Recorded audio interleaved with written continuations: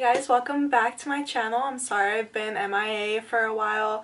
I was sick and then I didn't have time to record and there was just all these things getting in the way but finally I'm able to record this. This was supposed to come out like a long time ago when opening game was gonna happen but um, stuff got in the way Anyway, point is, today's look is a baseball look. I'm a huge Giants fan, so it was inspired off of the San Francisco Giants. Um, you guys can switch it up, make it whatever team you want it to be, but um, I hope you guys really like it, and I had so much fun creating this look. I hope you guys use it, and I can't wait to see pictures of all kinds of different teams and stuff coming off of this look, so I hope you guys like it. Bye! Hey guys, so the first thing I'm going to go in with is the Kat Von D Saint and Sinner palette. And I'm going to go in with the shade Devil. It's the bright orange one. This palette has really great pigmentation, so you just go in, tap your brush at least like once or twice, maybe tap off, tap off some excess, and then the color pigmentation is really strong, so a few taps will do you good and then I'm just going in focusing on the outer corner and blending it out upward and over. So I'm gonna create like a, a round shape for this look because um, I'm going to carve out like a baseball and it's a, like a half circle instead of going with the crease of your eye. So I'm really trying to make that eye rounded out. And now I'm just adding to the inner corner making that also just as intense as the outer corner and then going back in with some more of that devil shade and making it intense in the middle too and just buffing it all out, blending it, make sure that there's no harsh lines because I really want it to be smoky. So now with a smaller, fluffier brush, I'm going in with that same shade, Devil, and just intensifying the more inner part of the eyeshadow, leaving the outside to like be more blended up towards the brow. So now it's got more of an orange, a true orange shade. And now I'm going in with the color Jones from the Urban Decay Full Spectrum palette and using it just as a transition shade. It's not an intense orange, it's more of a very light orange as you can see. I picked up a lot of this shade on the brush. I know you can't tell because it's so light, but I picked up a very generous amount and I just went straight in, started from the outer crease and worked my way in and it's still very light. So I don't want it to be a strong orange, just kind of like a transition color and then I'm going in with a smaller, more precise fluffy brush and picking up the color Sabbath from the Kat Von D Saint Sinner palette and it's a very strong black so I didn't want to pick up too much, but um, I did get like a generous amount and I'm just kind of tapping it on the outer corner and without moving my brush too much, doing circular motions to kind of blend it out and make it not so strong. Um, but I still want the intensity to be on the outer corner. So I'm not moving my brush too much. I'm just kind of like circulating it in the same place on the outer corner. Um, doing the same thing on the inner corner I want that intense black, but I don't want it to be so smoked out yet. So I'm just kind of tapping it and then rotating it a little bit and now I'm bringing it from the inner to the outer and kind of working my way in the middle. Blending it all out checking to see if it's looking good. So now I'm going in with a clean big fluffy brush and just kind of making sure that it's blended out and then I'm taking more of that Jones color from the Full Spectrum palette and going barely over top of the end of the black. I don't want to go over the black too much because I still want the intensity to be there so I'm just going over the very edge of it making sure that that's blended out.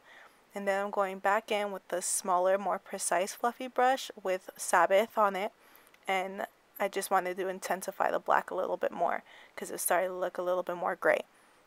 And then I keep going back in, kind of blending it, making sure that it's not so harsh. Now is the carving out the baseball part.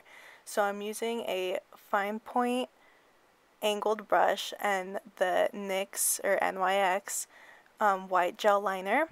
And I'm just going to kind of measure out where the top of my crease is on the center of my eye and then from there I'm going to try to create a circular half like round shape if that makes sense. I don't want it to really follow my eye shape because your eye is not a perfect circle. So I'm trying to make half of a circle. So once I have that shape created, I'm just going to go back in and fill it all in. I'm not too careful about this. I'm just making sure that all of it's covered and I have a strong white base. Um, I am going to go back and set it with some white eyeshadow, but I just wanted to make sure that I'm covering as much as possible with that NYX white gel liner. So now I'm going in with Bump from the Full Spectrum palette and just setting it nothing too precise. Um, it's not really a lot for color payoff. It's more just so that the eyeliner is not going to move. And it does help a little bit with making sure that it is a truly white background. And now I'm going to go in with the same thing on the other eye just making that round shape, trying to mimic the other eye. Now that I have the shape how I want it, I'm just going to go back in with the NYX gel liner and continue to fill it in, making sure that I really pack it on so that way I really cover all the black that was underneath. I'm still making sure that I'm very careful around the edges and trying to clean it up at the same time, making sure that it's not like bumpy or anything. I want a clean cut line. And now I'm going back in with Bump from the Full Spectrum palette and setting it. Now with a fluffy pencil brush, I'm going to go in back with Devil and start intensifying the orange that's around the white baseball. So I wanted it to have more of like an orange glow behind it. So I'm just kind of going in touching up around it doing the same thing with Sabbath on the other side kind of making sure it's intense all the way around but not bringing up too high. Just enough to where it intensifies the cut crease I really wanted to have that contrast of white and black and now going in with a more precise pencil brush, I'm just going to dip a little bit into Sabbath and deepen up the black. I wanted it to be more precise because I didn't want to bring the black up too much. Just wanted it right around the edge of the white. And then I'm going in with Jones again on the fluffy pencil brush and then barely kind of fanning out the edge of the black.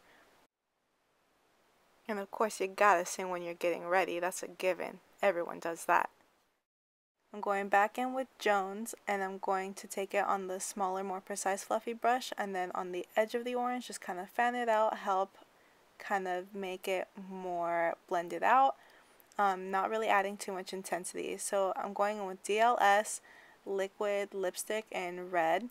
Um, and then with a angled brush, I just go in, I take off a little bit of the liquid lipstick and put it on like a spatula or something. And then um, I just dip my brush in and right now I know it's hard to see I'm sorry I'm working on my camera angles. Um, but I'm just making two kind of circular lines. They're not too circular but they are like at an angle because you know if you look at the baseball they're kind of rounded in towards the middle. So you just make those two lines and now I'm just going horizontally across the vertical lines just making the little stitching on the baseball. And I'm just tapping my brush like I'm not really even dragging it I'm just tapping it. And now I'm going over to the other side creating those lines more of a better angle so you guys can see. They're a little bit rounded they're not really straight vertical lines. And same thing going in tapping horizontally to make the stitches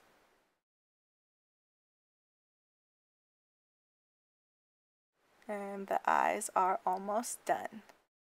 So now I'm going in and creating a wing liner because I just feel like no makeup look is complete without a wing liner. So I'm going in with my typical e.l.f. black gel liner and my angled brush and I'm kind of having to pat the eyeliner on because of the white gel liner that we used for the baseball it's a lot harder and thicker to try to go over with another liner. So you just kind of have to tap more than do strokes to make it look like a clean, crisp line. So I'm just tapping to fill it in and kind of when I get to the outside, I start kind of doing a little bit more of a stroking motion because it's only eyeshadow on the outside so you're kind of able to do that more. I'm repeating the same thing on the other side, starting with the wing and then working my way in. And then right when I get to where the white baseball starts, I have to kind of start tapping to create my line. Now I'm just filling it in, little tapping motions because you're not able to glide the eyeliner on on top of the baseball. Eyeliner's done, let me go do my foundation. Done. so now we're moving on to the lower part of the eyes. So on the lash line, I'm just going to take the color Devil and with the fluffy pencil brush, back and forth motions, building the color but still blending it out at the same time. And I want to keep it kind of close to the lash line. I want it to be smoky, but I want the most intensity to be really close to the lash line. So I'm just going to keep going back and forth, building the color, but blending it out at the same time and bringing it underneath the wing and kind of pulling the orange out. And now I'm doing the same thing with Sabbath. I'm taking a more precise pencil brush and going in. Black is a little bit more tricky, so you have to slowly build with black. That's why I took the more precise pencil brush with black and then with a more fluffy pencil brush I took Jones, the orange light color, and I'm kind of blending it out with that. I'm going to keep going back and forth with Sabbath and Jones, building and blending it out.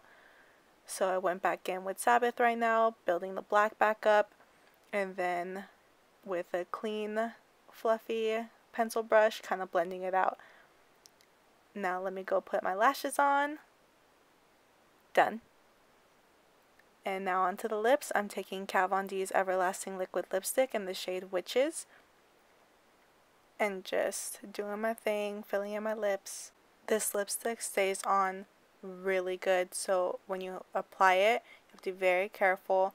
So I'm taking my time outlining my lips, making sure it's the shape that I want, carefully putting it on.